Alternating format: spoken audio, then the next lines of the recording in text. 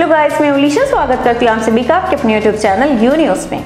रात में ठंड से काँप रहा था गरीब आदमी, यूपी पुलिस ने फिर जो किया वो दिल जीत लेगा। चलिए आपको बताते हैं, आखिर यूपी पुलिस ने ऐसा क्या किया? गाइस, आज के इस कलयुग में ऐसा बहुत ही कम देखने को मिलता है कि जब एक इंसान बिना किसी स्वार्थ के दूसरे व्यक्ति की मदद करता है और चेहरे पर मुस्कान बिखेरे देने वाला ये दुर्लभ नज़ारा हाल ही में उत्तर प्रदेश में दिखा है। यहाँ एक पुलिस कांस्टेबल रात में ड्यूटी के दौरान जिस तरह से एक बेसहारा व्यक्ति की मदद करता है, वे दिल खुश कर देता है। दरअसल इन दिनों सोशल मीडिया पर एक वीडियो काफ़ी ज़्यादा वायरल हो रहा है और इस वीडियो में हम देख सकते हैं कि सड़क पर देर रात में एक बेसहारा व्यक्ति बिना गर्म कपड़े के बैठा रहता है। ऐसे में एक पुलिस कांस्टेबल उसे अपनी खाकी वर्दी वाली जैकेट देकर ठंड से बचा लेता है।